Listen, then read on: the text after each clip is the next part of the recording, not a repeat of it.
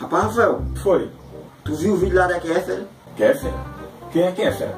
Rapaz, aquela youtuber que tem 10 milhões de inscritos. Não faço ideia de quem seja. Rapaz, tu não viu não o vídeo dela. Foi o que ela fez? Rapaz, ela blasfemou de Deus. Ela publicou aqui dizendo que Deus se masturba. Sério, ela falou isso mesmo? Cara, é doido, ó.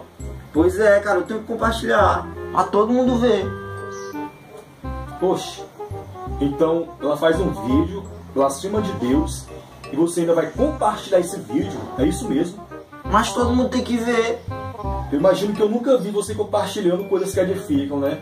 Agora é só uma pessoa fazer um vídeo desse, aí você já quer compartilhar para todo mundo, né? Sendo que ela quer visualização e você compartilhando vai dar dando o que ela quer. Agora, por exemplo, eu tenho um canal cristão e eu nunca vi você compartilhando um vídeo meu. É sacomé, né? É, sei como é, né?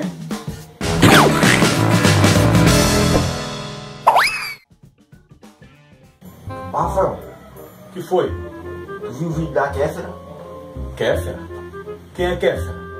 Rapaz, é aquela youtuber. Rapaz,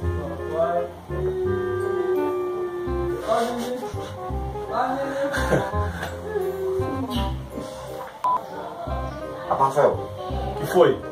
Tu viu Ai, barulho.